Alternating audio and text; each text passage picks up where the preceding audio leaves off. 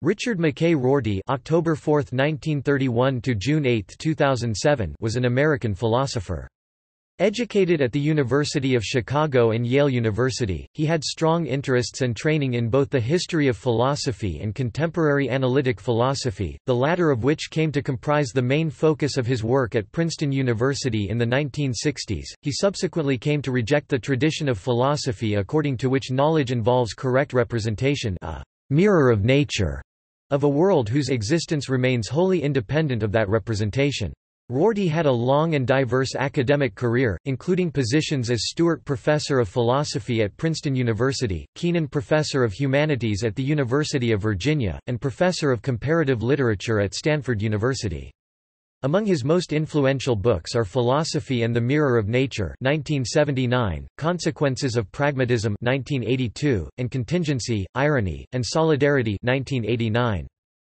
Rorty saw the idea of knowledge as a «mirror of nature» as pervasive throughout the history of Western philosophy. Against this approach, Rorty advocated for a novel form of American pragmatism, sometimes called neopragmatism, in which scientific and philosophical methods form merely a set of contingent vocabularies, which people abandon or adopt over time according to social conventions and usefulness.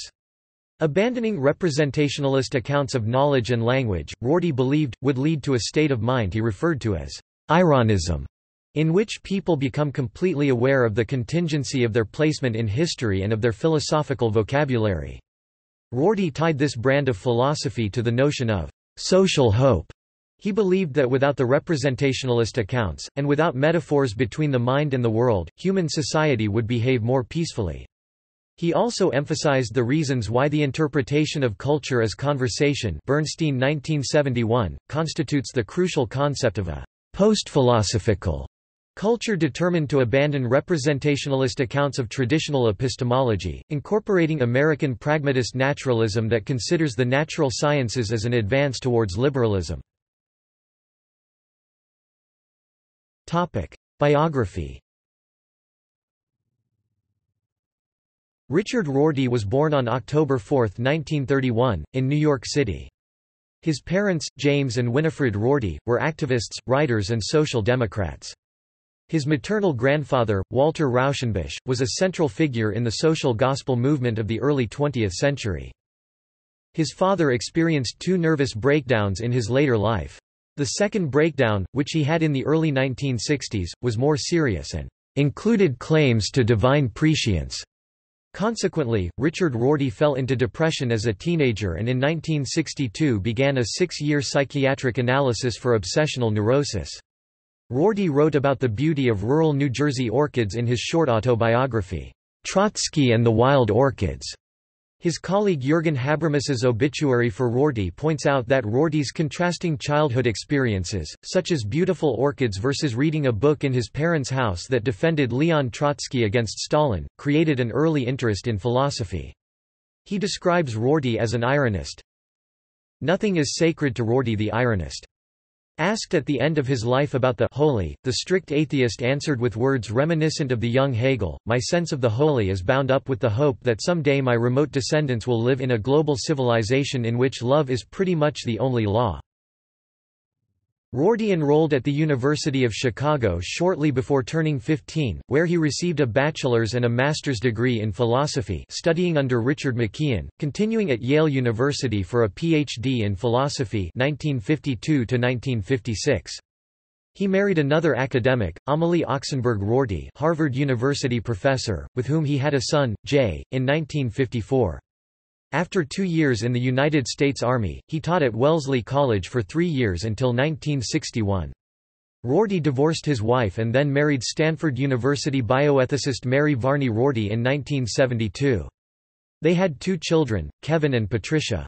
While Richard Rorty was a strict atheist, Habermas, Mary Varney Rorty was a practicing Mormon. Rorty was a professor of philosophy at Princeton University for 21 years. In 1981, he was a recipient of a MacArthur Fellowship, commonly known as the Genius Award, in its first year of awarding, and in 1982 he became Kenan Professor of the Humanities at the University of Virginia. In 1997 Rorty became professor of comparative literature and philosophy, by courtesy, at Stanford University, where he spent the remainder of his academic career. During this period he was especially popular, and once quipped that he had been assigned to the position of transitory professor of trendy studies. Rorty's doctoral dissertation, The Concept of Potentiality was an historical study of the concept, completed under the supervision of Paul Weiss, but his first book as editor, The Linguistic Turn 1967, was firmly in the prevailing analytic mode, collecting classic essays on the linguistic turn in analytic philosophy. However, he gradually became acquainted with the American philosophical movement known as pragmatism, particularly the writings of John Dewey. The noteworthy work being done by analytic philosophers such as Willard Van Orman Quine and Wilfred Sellars caused significant shifts in his thinking, which were reflected in his next book, Philosophy and the Mirror of Nature 1979. Pragmatists generally hold that the meaning of a proposition is determined by its use in linguistic practice. Rorty combined pragmatism about truth and other matters with a later Wittgensteinian philosophy of language which declares that meaning is a social linguistic product, and sentences do not link up with the world in a correspondence relation. Rorty wrote in his Contingency, Irony, and Solidarity 1989, Truth cannot be out there. Cannot exist independently of the human mind. Because sentences cannot so exist, or be out there. The world is out there, but descriptions of the world are not. Only descriptions of the world can be true or false. The world on its own unaided by the describing activities of humans cannot. 5 Views like this led Rorty to question many of philosophy's most basic assumptions and have also led to him being apprehended as a postmodern, deconstructionist philosopher. Indeed, from the late 1980s through the 1990s, Rorty focused on the continental philosophical tradition, examining the works of Friedrich Nietzsche, Martin Heidegger, Michel Foucault, Jean-François Lyotard and Jacques Derrida. His work from this period included Contingency, Irony, and Solidarity, essays on Heidegger and others, Philosophical Papers 1991 and Truth and Progress, Philosophical Papers 1998. The latter two works attempt to bridge the dichotomy between analytic and continental philosophy by claiming that the two traditions complement rather than oppose each other. According to Rorty, analytic philosophy may not have lived up to its pretensions and may not have solved the puzzles it thought it had. Yet such philosophy, in the process of finding reasons for putting those pretensions and puzzles aside, helped earn itself an important place in the history of ideas. By giving up on the quest for apodicticity and finality that Edmund Husserl shared with Rudolf Carnap and Bertrand Russell, and by finding new reasons for thinking that such quest will never succeed, analytic philosophy cleared a path that leads past scientism, just as the German idealists cleared a path that led around empiricism. In the last 15 years of his life, Rorty continued to publish his writings, including four volumes of his archived philosophical papers, Achieving Our Country 1998, a political manifesto partly based on readings of Dewey and Walt Whitman in which he defended the idea of a progressive, pragmatic left against what he feels are defeatist, anti-liberal, anti-humanist positions espoused by the critical left and continental school. Rorty felt these anti-humanist positions were personified by figures like Nietzsche, Heidegger, and Foucault. Such theorists were also guilty of an inverted Platonism, in which they attempted to craft overarching, metaphysical, sublime philosophies, which in fact contradicted their core claims to be ironist and contingent. Rorty's last works, after his move to Stanford University, focused on the place of religion in contemporary life, liberal communities, comparative literature and philosophy as cultural politics. Shortly before his death, he wrote a piece called The Fire of Life, published in the November 2007 issue of Poetry magazine, in which he meditates on his diagnosis and the comfort of poetry. He concludes, I now wish that I had spent somewhat more of my life with verse. This is not because I fear having missed out on truths that are incapable of statement in prose. There are no such truths, there is nothing about death that Swinburne and Landor knew but Epicurus and Heidegger failed to grasp. Rather, it is because I would have lived more fully if I had been able to rattle off more old chestnuts—just as I would have if I had made more close friends. Cultures with richer vocabularies are more fully human, farther removed from the beasts than those with poorer ones. Individual men and women are more fully human when their memories are amply stocked with verses. On June 8, 2007, Rorty died in his home from pancreatic cancer. Major works Philosophy and the Mirror of Nature In Philosophy and the Mirror of Nature 1979, Rorty argues that the central problems of modern epistemology depend upon a picture of the mind as trying to faithfully represent or mirror a mind-independent, external reality. If we give up this metaphor, then the entire enterprise of foundationalist epistemology is misguided. A foundationalist believes that in order to avoid the regress inherent in claiming that all beliefs are justified by other beliefs, some beliefs must be self-justifying and form the foundations to all knowledge. There were two senses of foundationalism criticized in philosophy and the mirror of nature. In the epistemological sense, Rorty criticized the attempt to justify knowledge claims by tracing them to a set of foundations e.g., self-evident premises or non-inferential sensations. More broadly, he criticized the claim of philosophy to function foundationally within a culture. The former argument draws on Sellars's critique of the idea that there is a given in sensory perception, in combination with Quine's critique of the distinction between analytic sentences sentences which are true solely in virtue of what they mean and synthetic sentences sentences made true by the world. Each critique, taken alone, provides a problem for a conception of how philosophy ought to proceed, yet leaves enough of the tradition intact to proceed with its former aspirations. Combined, Rorty claimed, the two critiques are devastating. With no privileged insight into the structure of belief and no privileged realm of truths of meaning, we have, instead, knowledge as those beliefs that pay their way. The only worthwhile description of the actual process of inquiry, Rorty claimed, was a Kuhnian account of the standard phases of the progress of disciplines, oscillating through normal and abnormal periods, between routine problem solving and intellectual crises. After rejecting foundationalism, Rorty argues that one of the few roles left for a philosopher is to act as an intellectual gadfly, attempting to induce a revolutionary break with previous practice, a role that Rorty was happy to take on himself. Rorty suggests that each generation tries to subject all disciplines to the model that the most successful discipline of the day employs. In Rorty's view, the success of modern science has led academics in philosophy and the humanities to mistakenly imitate scientific methods. Philosophy and the Mirror of Nature popularized and extended ideas of Wilfred Sellars The Critique of the Myth of the Given and Willard Van Orman Quine The Critique of the Analytic-Synthetic Distinction and others who advocate the Wittgensteinian doctrine of «dissolving» rather than solving philosophical problems. Contingency, irony, and solidarity In Contingency, Irony, and Solidarity 1989, Rorty abandoned specifically analytic modes of explication in favor of narrative pastiche in order to develop an alternative conceptual vocabulary to that of the Platonists he rejects. This schema is based on the belief that there is no worthwhile theory of truth, aside from a non-epistemic semantic one as Donald Davidson developed out of the work of Alfred Tarski. Rorty suggests that the task of philosophy should be distinguished along public and private lines. Private philosophers, who provide one with greater abilities to re-create oneself, a view adapted from Nietzsche and which Rorty also identifies with the novels of Marcel Proust and Vladimir Nabokov, should not be expected to help with public problems. For a public philosophy, one might turn to Rawls or Habermas. This book also marks his first attempt to specifically articulate a political vision consistent with his philosophy, the vision of a diverse community bound together by opposition to cruelty, and not by abstract ideas such as justice or common humanity, policed by the separation of the public and private realms of life. In this book, Rorty introduces the terminology of ironism, which he uses to describe his mindset and his philosophy. Objectivity, relativism, and truth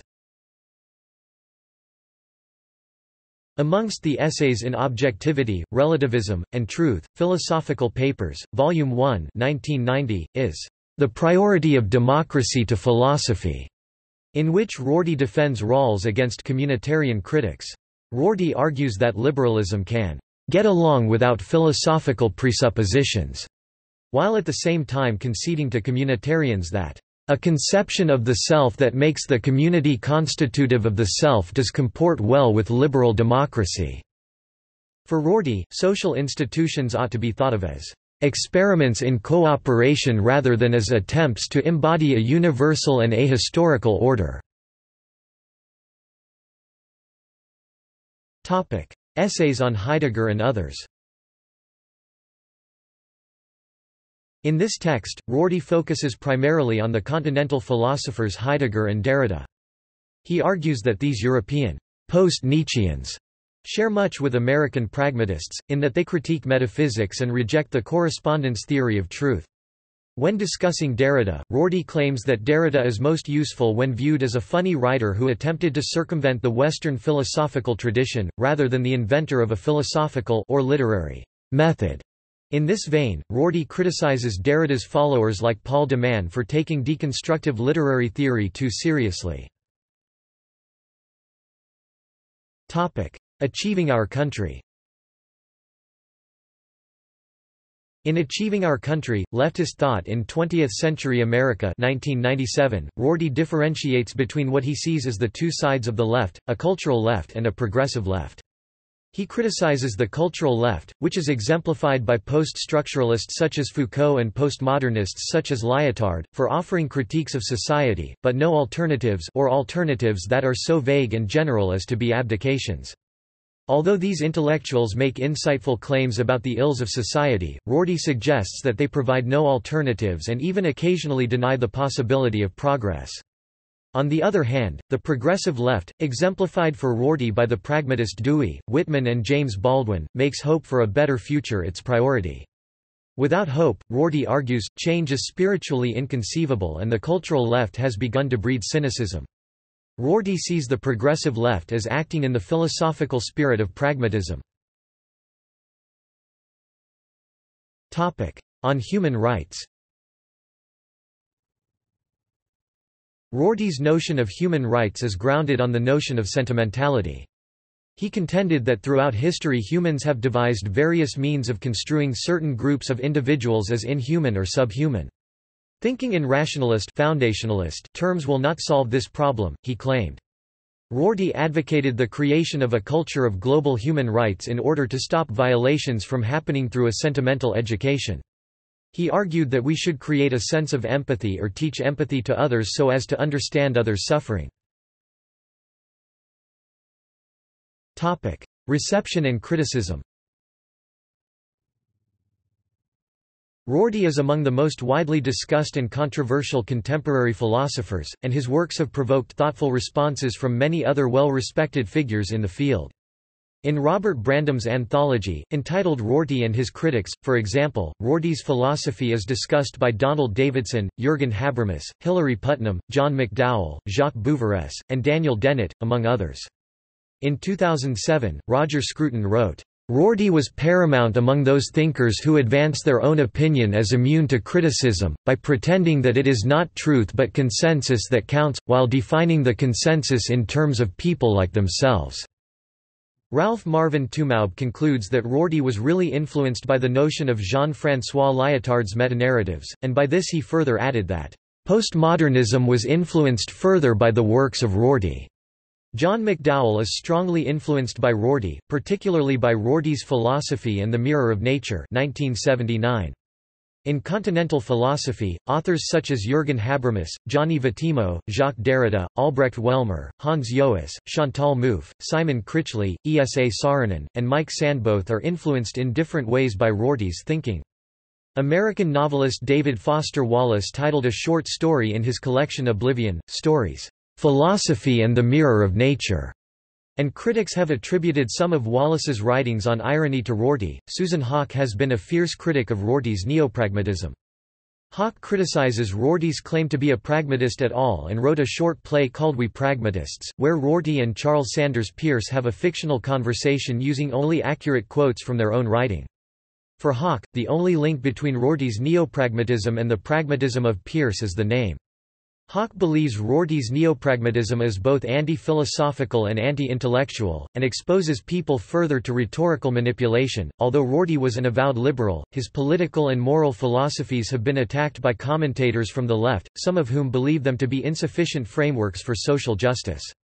Rorty was also criticized by others for his rejection of the idea that science can depict the world. One criticism, especially of contingency, irony, and solidarity is that Rorty's philosophical hero, the ironist, is an elitist figure. Rorty claims that the majority of people would be commonsensically nominalist and historicist, but not ironist. These people would combine an ongoing attention to the particular as opposed to the transcendent nominalism, with an awareness of their place in a continuum of contingent lived experience alongside other individuals historicist, without necessarily having continual doubts about the resulting worldview as the ironist does. An ironist is someone who, 1. has radical and continuing doubts about their final vocabulary, 2 realizes that argument phrased in their vocabulary can neither underwrite nor dissolve these doubts, and 3. does not think their vocabulary is closer to reality than others. All 73, contingency, irony, and solidarity.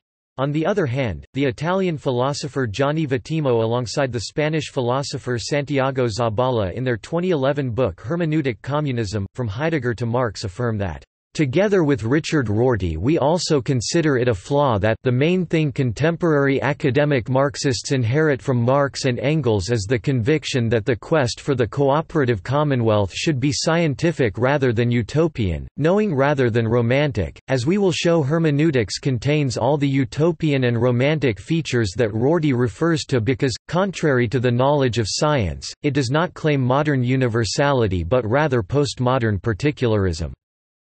Rorty often draws on a broad range of other philosophers to support his views, and his interpretation of their works has been contested. Since Rorty is working from a tradition of reinterpretation, he remains uninterested in accurately portraying other thinkers, but rather in utilizing their work in the same way a literary critic might use a novel. His essay, The Historiography of Philosophy, Four Genres, is a thorough description of how he treats the greats in the history of philosophy.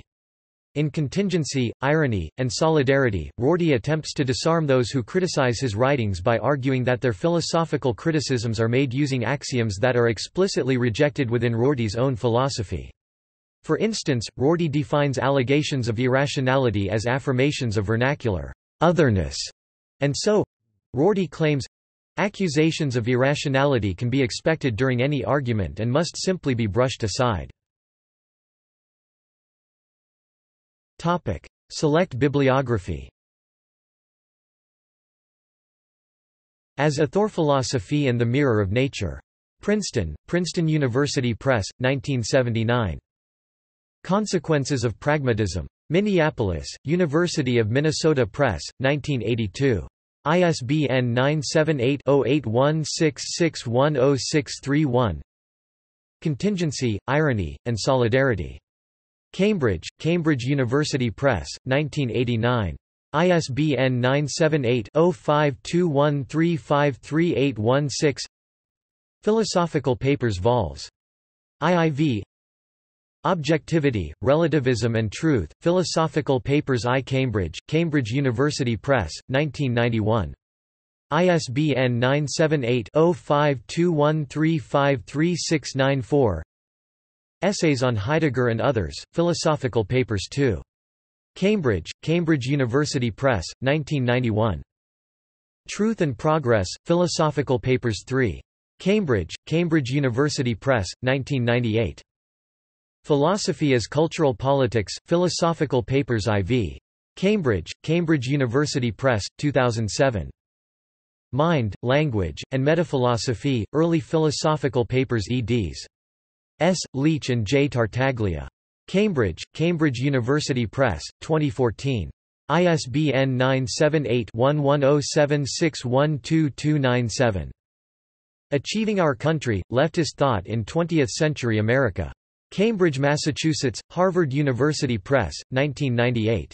ISBN 978-0674003118 Philosophy and Social Hope. New York, Penguin, 2000. Against Bosses, Against Oligarchies, A Conversation with Richard Rorty. Chicago, Prickly Paradigm Press, 2002. The Future of Religion with Gianni Vattimo ed. Santiago Zabala. New York, Columbia University Press, 2005. ISBN 978-0231134941 An Ethics for Today, Finding Common Ground Between Philosophy and Religion. New York, Columbia University Press, 2005. ISBN 978-0231150569 as Editor Linguistic Turn, Essays in Philosophical Method, 1967, ed., by Richard M. Rorty, University of Chicago Press, 1992, ISBN 978-0226725697 An Introduction and Two Retrospective Essays Philosophy and History, ed., by R. Rorty, J. B. Schneewind and Quentin Skinner, Cambridge, Cambridge University Press, 1985 an essay by R. Rorty, "'Historiography of Philosophy' pp. 29–76 See also Contributions to liberal theory Instrumentalism List of American philosophers List of thinkers influenced by deconstruction Topic. Notes Topic. Further reading Ulf Schulenberg, Romanticism and Pragmatism, Richard Rorty and the Idea of a Poeticized Culture, 2015 Marianne Janack, What We Mean by Experience, 2012 Marianne Janack, editor, Feminist Interpretations of Richard Rorty, 2010 James Tartaglia, Richard Rorty, Critical Assessments, 4 vols, 2009 Neil Gross, Richard Rorty, The Making of an American Philosopher, 2008 Rorty's Politics of Redescription, Gideon Calder, 2007 Rorty and the Mirror of Nature, James Tartaglia, 2007 Richard Rorty, Pragmatism and Political Liberalism, Michael Bacon, 2007 Richard Rorty, Politics and Vision, Christopher Voparil, 2006 Richard Rorty, His Philosophy Under Discussion, Andreas Wyeth, 2005 Richard Rorty, Charles B. Guignon 2003 Rorty, Gideon Calder, 2003 Richard Rorty's American Faith, Taub, Gad Shmuel, 2003 The Ethical Ironist, Kierkegaard, Rorty, and the Educational Quest, Rohrer, Patricia Jean, 2003 Doing Philosophy as a Way to Individuation, Reading Rorty and Cavell, Kwok, Duck Jew, 2003 Richard Rorty, Alan R. Malachowski, 2002 Richard Rorty, Critical Dialogues, Matthew Festenstein, 2001 Richard Rorty, Education, Philosophy, and Politics, Michael Peters, 2001 Rorty and his critics, Robert Brandom, 2000 on Rorty, Richard Rumana, 2000 Philosophy and Freedom, Derrida, Rorty, Habermas, Foucault, John McCumber, 2000 A Pragmatist's Progress, Richard Rorty and American Intellectual History, John Pettegrew, 2000 Problems of the Modern Self, Reflections on Rorty, Taylor, Nietzsche, and Foucault, Dudrick, David Francis, 2000 The Last Conceptual Revolution, A Critique of Richard Rorty's Political Philosophy, Eric Gander, 1999 Richard Rorty's Politics, Liberalism at the End of the American Century, Markar Melkonian, 1999 The Work of Friendship, Rorty, His Critics, and the Project of Solidarity, Diane Rothleder, 1999 For the Love of Perfection, Richard Rorty and Liberal Education, René Vincent Arcia, 1995 Rorty and Pragmatism, The Philosopher Responds to His Critics, Herman J. Saatkamp, 1995 Richard Rorty, Prophet and Poet of the New Pragmatism, David L. Hall, 1994 Reading Rorty, Critical Responses to Philosophy and the Mirror of Nature and Beyond, Alan R. Malachowski, 1990 Rorty's Humanistic Pragmatism, Philosophy Democratized, Konstantin Kolenda, 1990 Topic External links Richard Rorty at Curlie Ukaspace at the library's digital collection, Richard Rorty Born Digital Files, 1988–2003 Internet Encyclopedia of Philosophy Article Stanford Encyclopedia of Philosophy Entry Rorty Audio, Dewey and Posner on Pragmatism and Moral Progress, University of Chicago Law School, April 14, 2006. Philweb's entry for Richard Rorty an exhaustive compilation of online links and offline sources. Rorty Essays published in Dissent magazine Rorty Audio, informative interview by Prof. Robert P. Harrison, November 22, 2005. Rorty Interview, Against Bosses, Against Oligarchies, conducted by Derek Nystrom and Kent Puckett, Prickly Paradigm Press, September 1998. Rorty Interview, The Atlantic Monthly, April 23, 1998. Rorty Memorial Lecture by Jürgen Habermas, Stanford University, November 2, 2007. Rorty eulogized by Richard Posner, Brian Eno, Mark Edmundson, Jürgen Habermas, Daniel Dennett, Stanley Fish, David Bromwich, Simon Blackburn, Morris Dickstein and others, Slate Magazine, June 18, 2007. The Inspiring Power of the Shy Thinker, Richard Rorty by Hans Ulrich Gumbrecht, Telos, June 13, 2007.